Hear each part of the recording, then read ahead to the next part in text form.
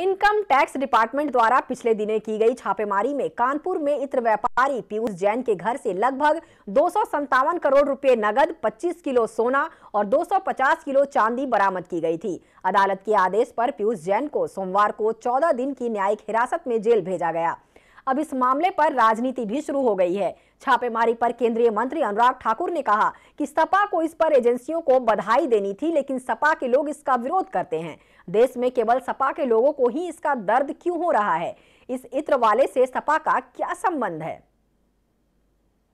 राज mafia, राज का बोलबाला।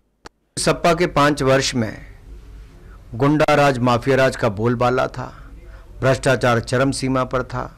और जिसके कुछ उदाहरण आपको ताजे ताजे देखने को मिल भी रहे हैं, मैं तो ये कहूँगा काश उन पाँच वर्षों में अखिलेश ने राज माफिया राज के खिलाफ कड़ा प्रहार किया होता। अतीक अहमद, मुख्तार अंसारी की बिल्डिंगों को गिराने का काम उन्होंने किया होता। जेल में डालने का काम किया होता। बहनों को सुरक्षा प्रदान की होती। तो ये प्रोजेक्ट वो अपने समय शुरू भी करवा सकते थे, ख़त्म भी करवा सकते थे। लेकिन ये योगी जी की सरकार थी। मोदी जी का पूरा आशीर्वाद था।